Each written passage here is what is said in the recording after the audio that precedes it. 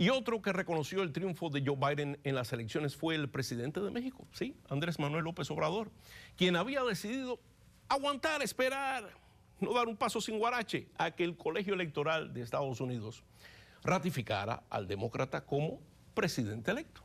En una conferencia de prensa celebrada esta mañana en el Palacio Nacional, el presidente mexicano reveló que una vez que terminó la sesión del Consejo Electoral de Estados Unidos, envió una carta al demócrata como presidente electo de esta nación.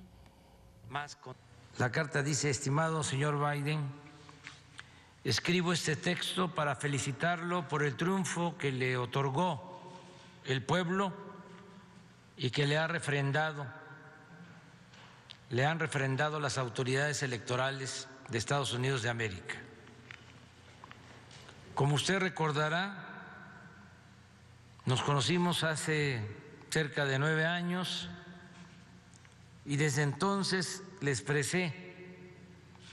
de manera personal y en una carta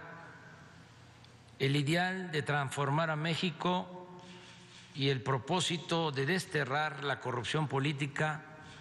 causa principal de la dolorosa desigualdad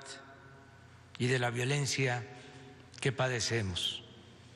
Ya lo escuchó. El presidente López Obrador, quien ha mantenido una muy buena relación con el actual presidente Donald Trump, era uno de los pocos mandatarios que todavía no habían felicitado a Joe Biden y pedía aclarar las acusaciones de fraude electoral hechas por el presidente saliente sin presentar pruebas suficientes.